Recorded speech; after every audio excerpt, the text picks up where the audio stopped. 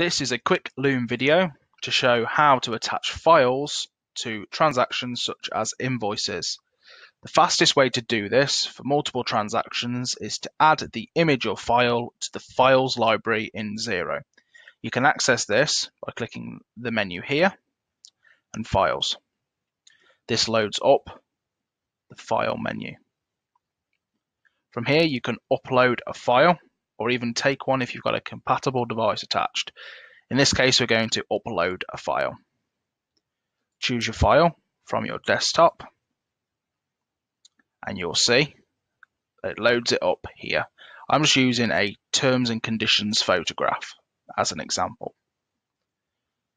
Let's have a little look around the files menu. So you'll see the file name, the file size, when it was uploaded. The upload files button is now moved to here if you wish to add multiple. And this little cogwheel here you'll get these few options. So you can rename the file, you can delete the file, or you can add to a new sales invoice bill, receive money or spend money directly from the files library.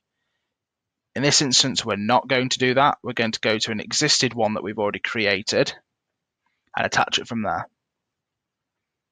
Let's use Bayside Club as an example load up the invoice, navigate to this picture of this paper here, and you'll see that we have no files attached to the invoice and no related files here. You can upload a file directly to here, but so that it's readily available, we said to add it to the file library. To add a file from the file library, click this button here. You'll see that all of your files, including my terms and conditions example, is listed here. Select it you can view it. Tick the box next to it and add the file and you'll see that it's added to this related files drop down here. If you want it to be attached to the invoice, click the drop down and click include with invoice. You'll now see when we click email that the included files is here.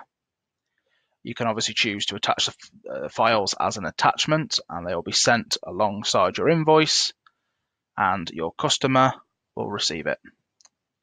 I hope this has been helpful. Cheers.